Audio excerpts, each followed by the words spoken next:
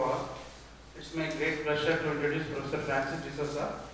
Dr. Francis D'Souza is a university distinguished research professor of chemistry as well as material science and engineering at University of North Texas, shortly called as UNT, Denton, USC. He completed his BSc and MSc degree from University of Mysore with gold medal for, for securing first rank.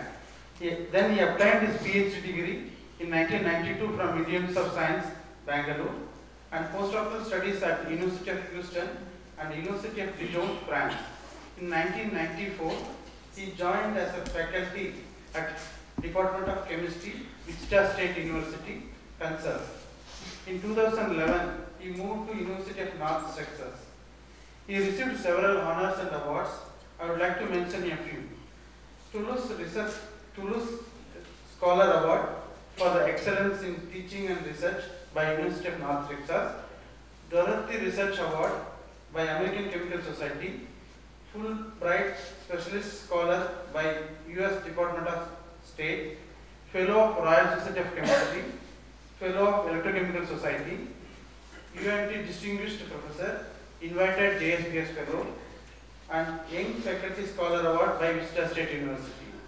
Professor D'Souza research covers wide areas of chemistry, nanophotonics, and material science. He mainly works on supramolecular chemistry of photosensitizer, carbon nanomaterials for energy harvesting and photovoltaics, and nanocomposite hybrid materials for energy storage. He has published 400 plus articles in reputed journals having H index of 69 with 16,700 public citations. I cordially invite Professor Francis to deliver his lecture on carbon nanomaterials for light harvesting where the science and engineering meet. Please. I would like to take this opportunity to thank Shankar for the kind invitation. I had a wonderful day today, talking to chemistry faculty and interacting with students. So maybe I will come often here because the campus is simply great and the guest house is fantastic. Okay, so with that, so uh, I would like to thank all of you for being here simply because, you know, it's Diwali uh, day before Diwali, I think. So everybody wanted to go back home, but uh, some people were forced to stay here for this talk. I apologize. So, but anyhow, so what I'm going to do is uh, give an overview of our journey in making energy harvesting materials based on carbon nano materials. Okay, so the the idea behind this is shown. Basically, this slide summarizes. The slide summarizes. Oh, thanks. So the idea here is uh, simply look at this uh, picture here. So this is the total global non-renewable energy sources we have, which amounts to about 900 terawatts. So these are non-renewable in the sense once you use up things, so we do not have any energy left. So to combat that situation, we have to look at what are the renewable energy sources we have. So if you look at this big yellow circle, so this is how much solar energy we receive. It's about 23,000 terawatts.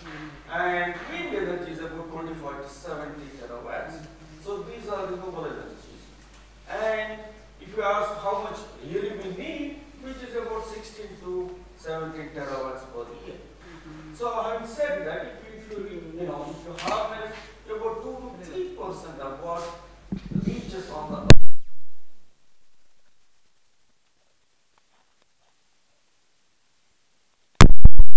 solar energy is very dispersed, so it is not very focused or concentrated. That's why all these technologies come into picture. Okay. So our approach here, uh, our approach here is follow what Mother Nature is doing for the last millions of years. So in the process of so we are photosynthesis. So where you all know, so we green plants and algae take carbon dioxide and water and in the presence of sunlight, so they make sugar. Sugar is energy basically, and it releases oxygen that we breathe. Okay, so how to make this process in the laboratory and make devices, bring technology to picture and mass produce all these energy materials or at least convert sunlight into electricity by using this concept. So if you want to do this, so first you need to understand basically what exactly goes in green plants and bacteria. Okay, so if you take a closer look, this is how, these are the two important components that we One is the cyclic ring, which is called antenna molecular system. So antenna is all these green things are all chlorophyllics, and this red is all carotenoids. The role is to take in or capture sunlight and funnel that and then channel that to something called a reaction center. Now at this reaction center, so there is a bacterial chlorophyll or chlorophyll dimer, we excite that because this light shines on that, it gets excited. And this excited time, dimer undergoes photo-induced electron transfer. And there is electron hopping from one acceptor to another, finally separating the charge separated state. So in a sense, in a sense, if you look at the energetics here, okay, so this is how it looks. So we have bacteriochlorophyll, which is having about 1.4 electron volt, but just shining light. Then you have initial charge separated state. Charge separated means the electron transfer product, where the donor, that is this guy lost an electron, and this guy accepted that electron. That's why you have a positive charge and a negative charge. And then there is electron hopping. So this electron hops to quinone, then quinone B. Finally, it is, I know, as far as very far from this place to this place. So why we need that electron hopping? If both the cation and anion are very close, the charge recombines. If it recombines, you do not simply have enough time to harvest that energy. So we have to keep them as far as possible so that they do not recombine. But it comes at the cost of some energy. Because every step costs energy, and so this is 1.4 electron volt becomes 0.5 electron volt. So we lose some amount of energy. But what was 10 nanosecond, nanometers to minus 9 of a second, so we stabilize the charge separated state for about one second. So to summarize this thing, so two important things we see. So there is multi-step electron transfer and we do get lovely electron transfer charge separated products. So the question is how to mimic them. And a cartoonic fashion, this is how it looks. So you have a bunch of chlorophyll molecules, they capture sunlight, transfer that energy to a reaction center where there is electron transfer which ends up in producing the terminal electron acceptor which is called quinone and this quinone with the help of proton converts ADP that is adenine diphosphate to adenine triphosphate that is the energy unit. So if you want to mimic this and harvest energy, actually we do not care this water. All I want is to support the charge separated state and make the charge to move into a circuit. Flow of electrons is nothing but electricity. So basically I'm using such a device or such a molecular system and take sunlight as an input and generate electricity. That is one goal. Or if you do not like electricity, you can make fuel. Okay, so that is the whole overall idea. So with that in mind, so what is that we are looking for? So we want to build molecular system or engineer molecular system that can mimic photosynthetic system processes. For that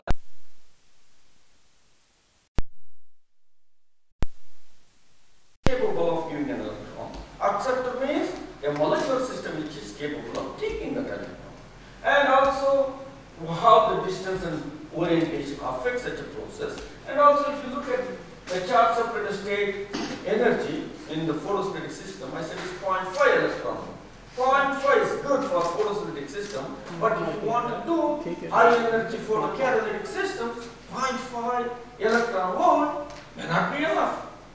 So we need high energy charge separated state. So So can we make and produce molecular systems which can produce high energy charge separated state? So that is the goal. That is our first goal. And second goal is stabilize the charge separated state. Okay, nature does long-lived charge separated by electron hopping. The question is, can we make molecular system that can exactly mimic such a process without losing much of an energy? Okay? And then, you know, in the photosynthetic system, there is atom, and there is reaction center. Antenna captures the energy, right? And reaction center undergoes electron transfer. Can we build molecular systems which can do both the processes? Okay? Capture energy and then create a charge separated state. Afterwards, where the technology meets, okay, like the title says. So if all these things are fulfilled, can you create devices, at least prototype devices, which will convert light to electricity? That is the first task. And light to fuel. You do not want electricity and night time you need something else. So can we make fuel by just using this concept? And if you did make fuel, can you build devices which will convert that fuel back to electricity? Because the entire our life, our civilization depends upon what flows in the circuit. No electricity, there is no life, pretty much. Ah, there is no internet, there is no life. One of the two. Right? First it started with electricity, now it's internet. But anyhow, so our idea is that, so can we take this grand challenge, okay, and first do fundamental science, then if all the questions are answered, then bring technology into the picture and combine them and see whether we can at least build prototype devices to showcase such a. Okay, so in choosing donor acceptance, okay, so donor acceptance. So the donors means we need photosensitizers. That means you shine light, this molecule gets excited, excited molecule has more energy than that in the ground state. That means it is ready to give an electron. Okay, so we generally use porphyrins that some of you are already aware here and cyanines. Okay, these are great photosensitizers. And then we have carbon-based materials because we are having carbon problem. So our idea is to tackle carbon carbon issues. Maybe you should use electron acceptor derived from carbon. Okay, this is When the um, molecule get excited by observing the photon, Hmm? why it will give the electron? Because it has high energy. But it will re-excite by emitting a photon. Yes, if, yeah, if there is nothing else, so it will come back to the ground state by giving the photon or by just by giving heat. But in the presence of an electron acceptor, so it can induce an electron to the acceptor, giving a charge separated state. Okay, that's what I meant. Okay, very good. So now this is the idea here. So we use this kind of photosensitizers and this kind of electron acceptors, and then we build molecular systems now. It's fairly complicated, but you know, I can walk it through.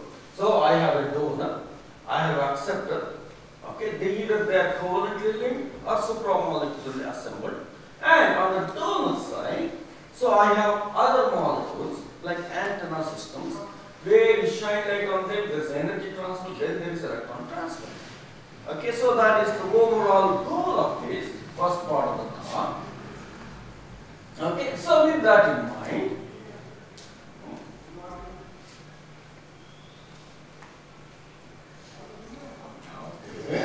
okay, so before I go further, let me just take one case to answer the gentleman's question here.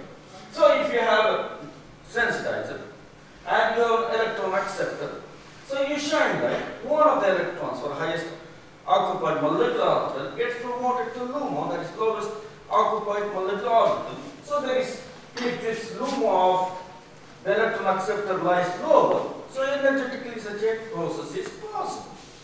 Okay, so that is called electron transfer, where the donor lost an electron, acceptor gained that electron. So if you take the same thing and shine light on the acceptor part,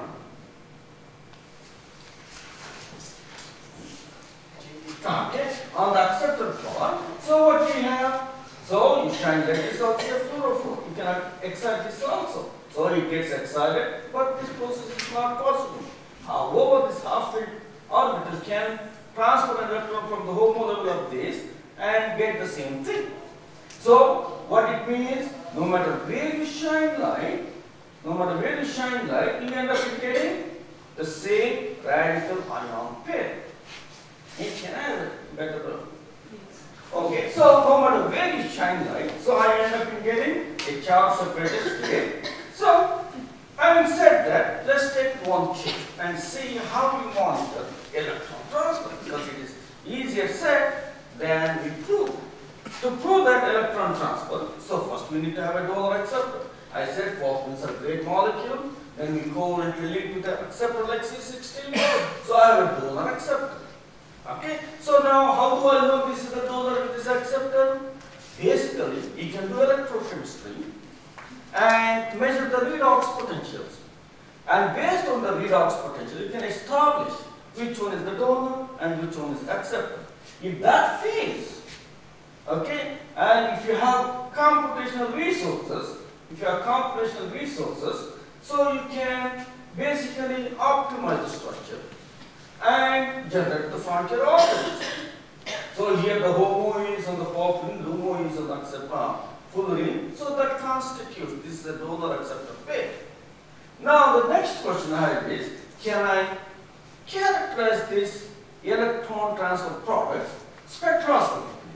To do that, to do that, we have two important instruments.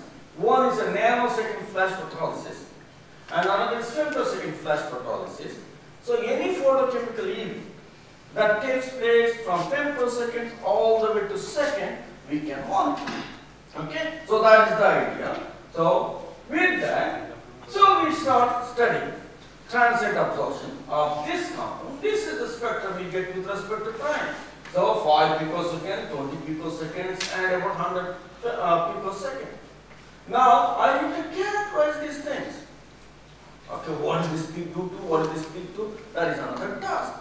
So for that what we do, heat a donor, that is this guy, and you know where you can oxidize that.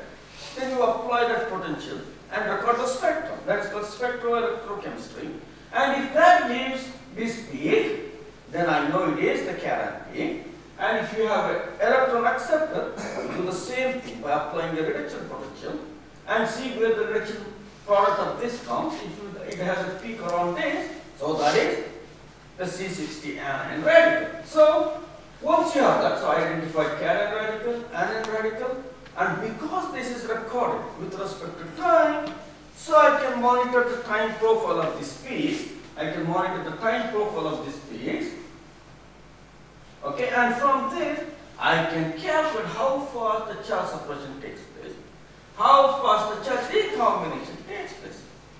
Okay, so it says it's about 0.4 picoseconds, very fast, because being 10 to minus 2, and in about 15 picoseconds, everything is done. So, if you look at this molecular structure, they're very close. Okay, they undergo charge separation just like what you see, but it is not stable because what goes up comes down equally fast. So if you want to make a device out of this, this may not be the ideal case or ideal candidate because this did not stabilize the charge separated state. However, it does undergo charge separation. So we have to think little differently. And also we are ours we call it a supramolecular chemistry group. So we like self-assembly also. Okay? So here is my donor in which the central zinc is a coordinatively unsaturated metal. So that means I can add a ligand or two. So that means electron acceptor also will function as that such a way that it can coordinate. Or we have different approaches. So crown ether binding to cation or crown with ether cation axial ligation or hydrogen bonding. All those things we can add. And every time we have a self-assembly process, so there are several figures are made. One is how stable the complex is, and what is the quantum rate of electron transfer, and what is the forward electron transfer and reverse electron transfer. This system shows these are all good systems, and it has stabilized the charge separated state to some extent, not a whole lot. Still, it is in nanosecond. Okay, so still in the nanosecond range. So with that, so we So whether the distance and orientation has anything to do. So with that in mind, we designed a molecule of this kind. What I have is covalently often fullerene. And then I have actually coordinated, so this is tail on. So this is a very rigid molecule, just like you have a picture frame with two names. So it is rigid, you cannot move that frame. But if it is only one, you can swing that. Okay, swinging means, you know, it is not defined. Here it is different. From there, you can see what is the effect of, you know, distance and orientation in electron transfer. So all these things are true. And if you look at this thing, ERIP, RIP stands for rest in peace. Or in my sense, is energy of radical ion pair. Okay? So E means radical ion energy. And this is about 1.3 electron volt. Okay, in photosynthetic system, I said it's 0.5, the terminal. So that this is much higher already. However, if you look at the lifetime, it is about 1 microsecond. There it was second. So that says, yeah, accomplish something close, but the lifetime is not that great. You have to still work. Okay? So the question was, so can we improve these things? Okay, so can we improve this thing? Hmm. Okay, so with that in mind, so we design a new molecular system in which a high oxidation potential donor. Okay, because of the electron withdrawing group. And from there I can measure how much energy it can store. It is about 1.7 electron volt instead of 1.3. So this molecule indeed can you know, store or generate high energy charge separated states. And if you look at the transit, so it has the cation, it has anion and cation. From there, I have the lifetime measured, which is about 50 to 60 nanoseconds, which is not much. However, this has very high energy for radical ion pair. So we are engineering the system so to accomplish, you know, several, you know, items or figures of merit that I was telling. Okay, with that, then we, I'm going to change the gears instead of fullerene using carbon nanotubes. Okay, so what are carbon nanotubes? So if you are looking for single wall carbon nanotubes, you take a graphene sheet and fold, so you have a tube. And there are a lot of applications for that. Okay, and in our case, we are more interested in energy harvesting and storage, energy harvesting and storage. However, there are problems with nanotubes. What are the problems? When you make nanotubes, synthesized nanotubes, they come in all diameter, shapes and sizes. Okay, separation of them is a tedious process. One of the best method is nonlinear density gradient ultrafiltration from where you can separate nanotubes of different diameter. And these nanotubes are great probes. They are photoluminescent and also they emit anywhere between 850 to 400 nanometers. All emission of a given individual nanotube. Okay, so we can use these things to build. So this is what I'm showing as you increase, as you increase the size. Okay, these are all transitions. As you increase the size, the gap decreases. That's why there is a red shift in the emission. Okay, so once you have this thing, so how, what happens when you excite the nanotube and what happens when you excite photosensitizer? Because when you are donor acceptor, you have photosensitizer and nanotube. And in that whole loop, there's a conduction band and valence band because the materials kind of system. So when you shine the probe, it gets excited, and then you have electron transfer. That means you can generate a charge separated state. However, if you excite the nanotube, what you have means is an exciton, electron hole pair, and it forms fast and relaxes equally fast. So that means you cannot pump an electron from this either one of this state to this level. So if you want to achieve soft separation using carbon nanotube, so this is the only route or elegant approach. How, and if you want to build donor acceptor, there's another small problem with nanotubes. In nanotubes, all the carbons are sp2. And if you did any chemistry, you convert some of the sp2 two carbons to sp3. Sp3 are saturated carbons, it's just like wax. So if you have too many sp3 carbons, you totally destroy the electronic properties. As a result, there is not much electron transfer can be seen. So to tackle the problem, what we do, instead of covalently linking them, we pi stack. So here is my probe, and I have four pyridine entities, and this molecule, for some reason, it loves to stick to some other flat aromatic systems. Okay, you mix them, you have a donor acceptor. Uh, you can utilize that approach in different design. Or if you do not like all organic, so you can use single stranded DNA that wraps around the nanotube. Then use a water soluble porphyrin, ionizate them, and see electron transfer. And if you know good uh, synthetic chemistry, you can do this chemistry. Okay, you can do this chemistry by, you know, adding a functionalizing a limited number of photosensitizers so that there is not the electronic structure is not totally destroyed.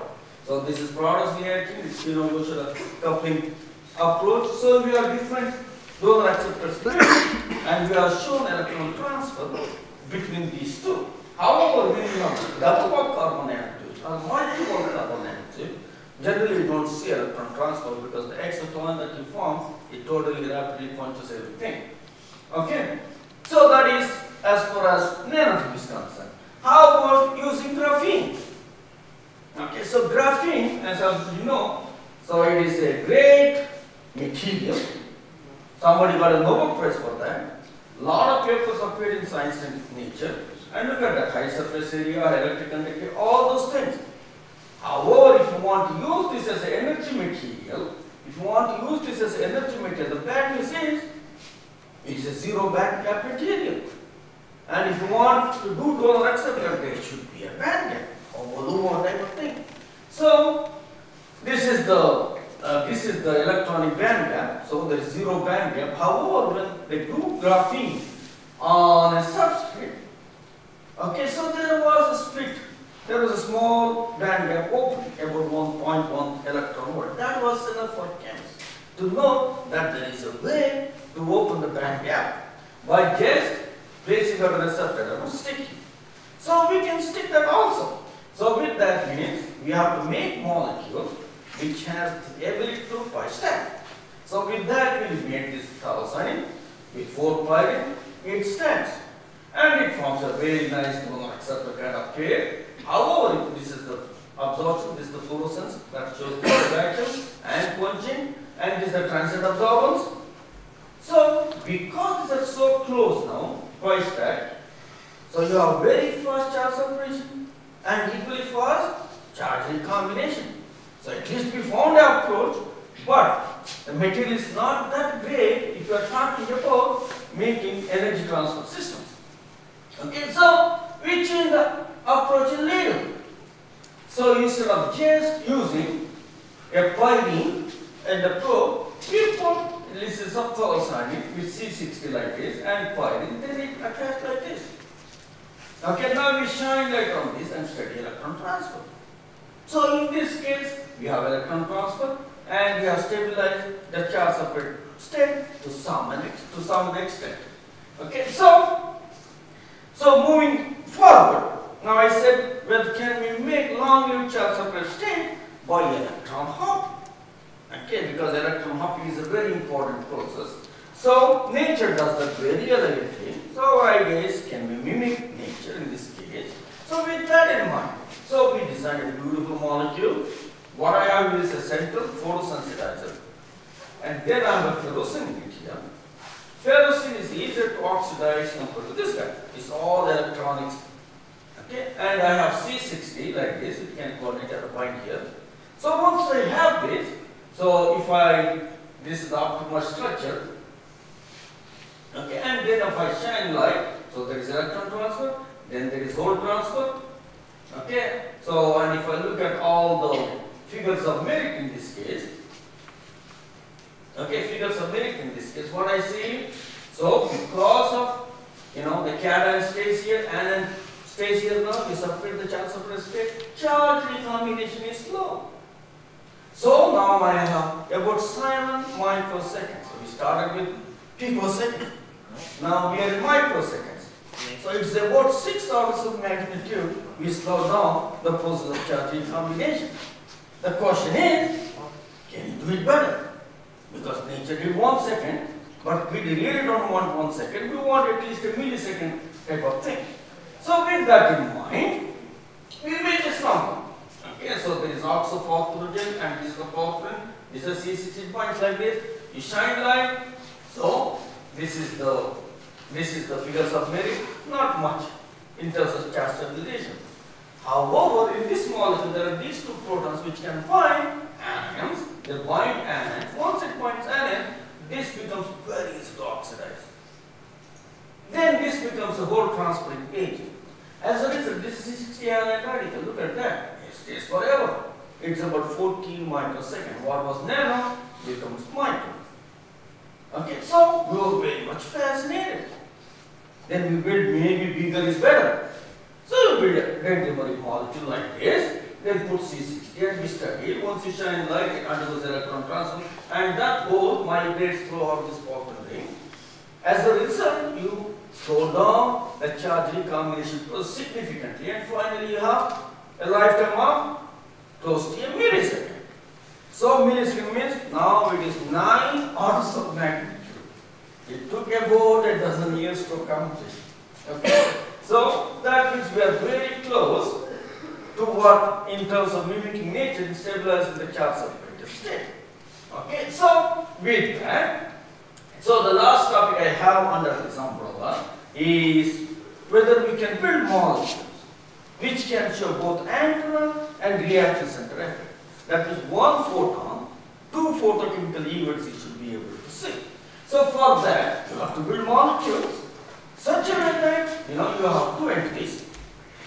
So one is simple BODIPY kind, another is bisterile body P. Because this is a pi conjugate system, this absorbs and emits in the red compared to this guy. And their absorption and emission is complementary. If you fulfill all these conditions, you shine light, there should be energy transfer to this. Then this gets excited, and then there is electron transfer. So basically, I'm using one photon to excite molecule somewhere. Ultimately, I have charge separation from other part of the molecule, just like what nature does. So, by some mechanism. So, this is a steady state, the body, that part is quant, and this part is enhanced. That itself shows there is energy transfer. Okay, so then I can study basically. Ah, okay. So this is the energy transfer. One gives off energy, other gains energy. From there I have rates for energy transfer. And after putting C60, there is a C60 peak. From there I can calculate electron transfer.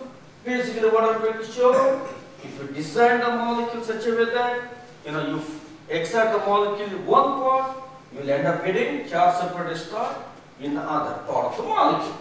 So, we have built a lot of molecules of this nature. I'm not going through all the details.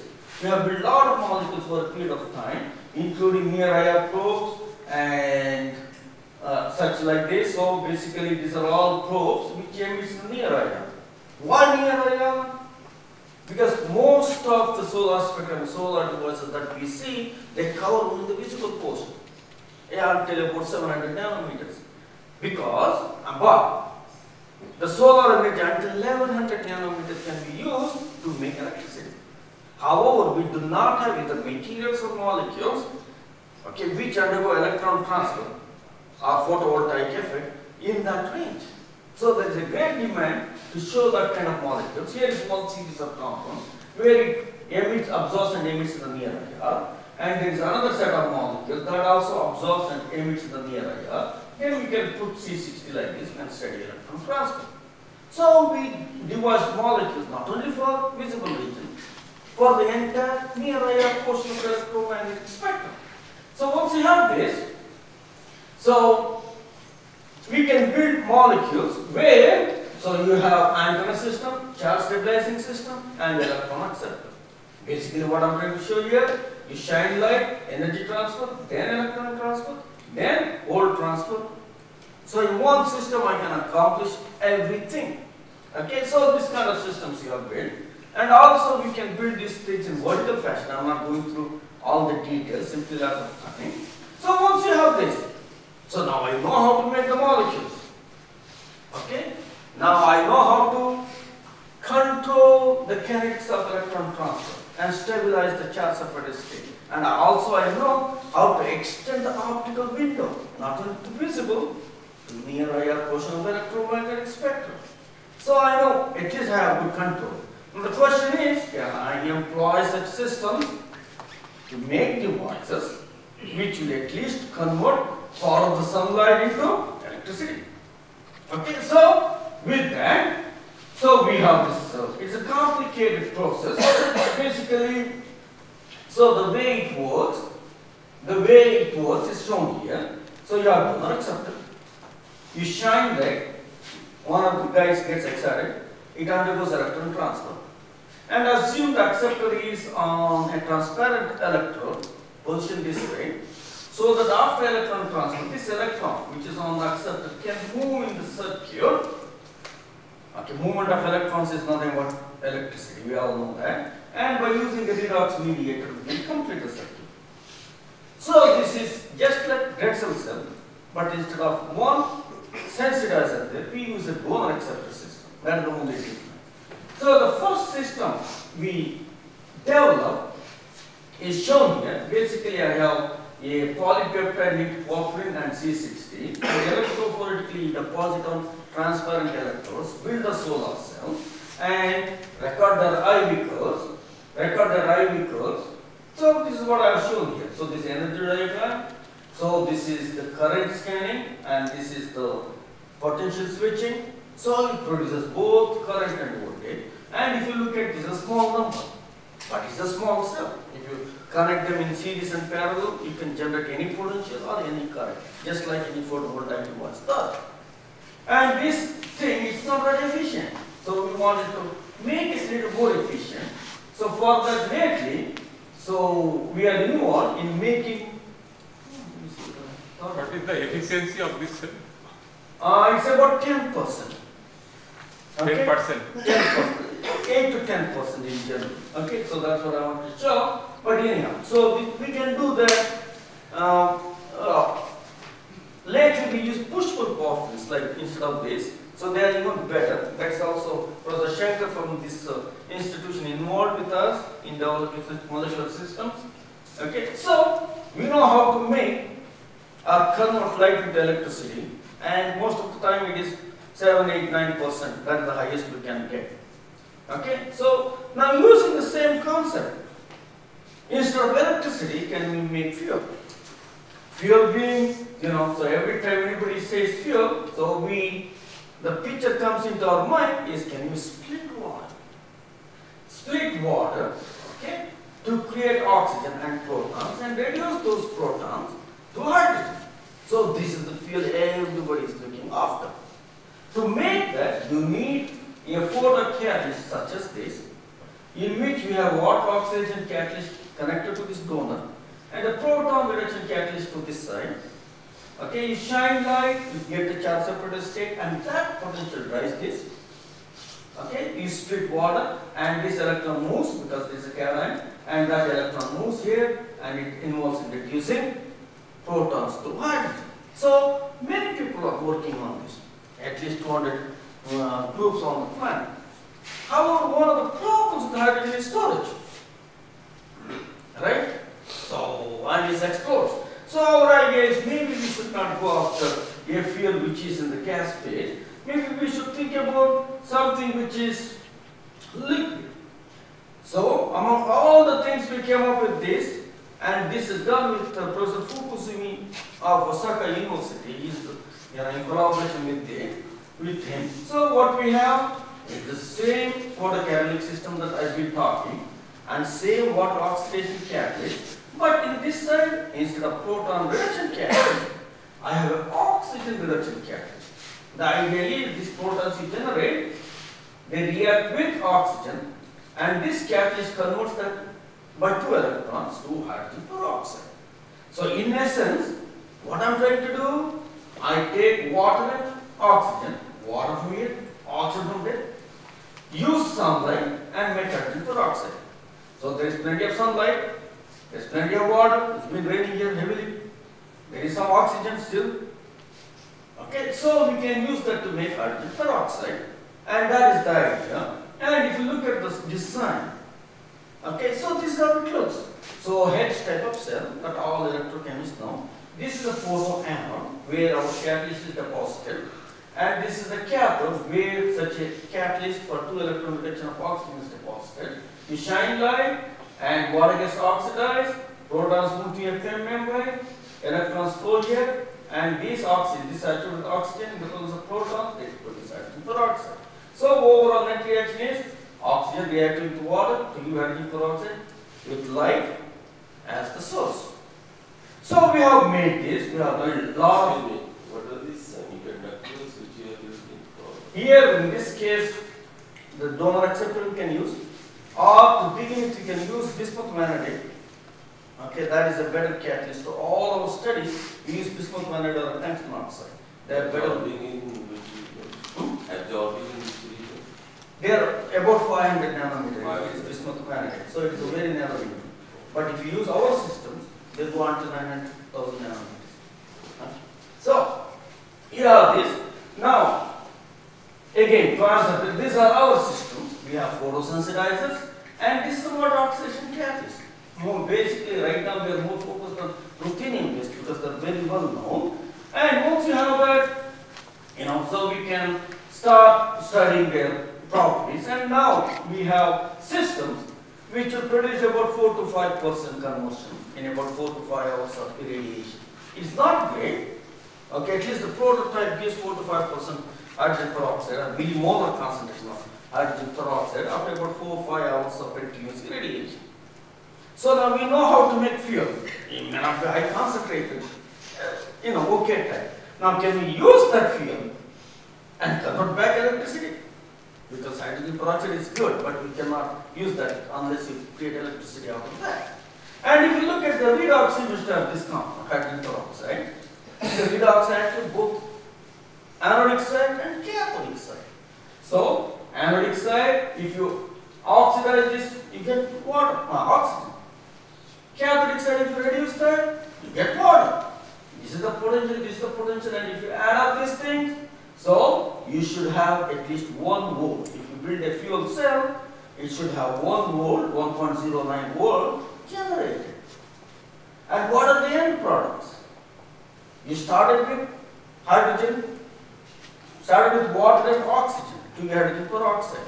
You're using hydrogen peroxide, getting back again what you started with. So, you are getting back your oxygen and water, provided you could build this fuel cell. So, to build the fuel cell, this is basically that. Okay, so there is a anode, there is a cathode, cathode need a catalyst, and those who are chemists, they know we use Prussian blue catalyst here, and this is nickel based this thing. And if you look at the IV curve, this is a power plant, this shows about 0.9 instead of 1.09 under this condition. 0.9 and if you look at it, because the same compound, both sides, you really don't need a PEM, proton exchange membrane in this case. Okay, so just to make sure that it is true, so what we did, so we made a thing, so what you see here is LED. Okay, and this LED needs a potential about 2.4 volt. If one of these cells produces only 0.9, to lift this I need three at least. So I have three fuel cells connected in series and so I have a picture. If you just click on this, maybe it will work. Okay, so now this is one of these electrodes and my student is dipping there. Okay, it's a very simple construction. So you have light. So fuel cell is working. So these are all hydrogen peroxide. It's about 2-3% hydrogen peroxide. That's good enough. If it is very high concentrated hydrogen peroxide, it explodes. Okay, this itself is good and we have hydrogen peroxide produced. So basically where the challenging part is now, okay, so do we know this? Yes. Do we know this? To control this? Yes. Do we know this? Yes. Big means? Yes, yes. Small means? Now technology should be better and more efficient. So that is where our next effort, the next few years before I retire. Okay, my focus will be how to make these things much more efficient because we, we have made a great amount of progress in this uh, area of research and also we have shown this is possible.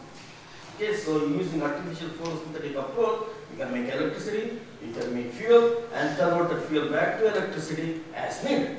Okay, with that, I would like to stop here. Let me say, let me thank my group. This is my present group. And this is about eight years ago, and some of them already graduated and have new faces to fill in. No time to take a new picture, but anyhow, this is almost recent, and we do collaborate with a number of people across the globe, including Professor Shankar from IIT Roorkee, and much of our uh, funding comes from, initially from NSF, and now because it's fuel cell, they get fuel light, and only they start doing uh, money, Department of Energy, and UNT, that's my institution, they invested a lot of money uh, in me to set up this uh. With that, I would like to thank again all of you for being here, and I'm very happy to answer any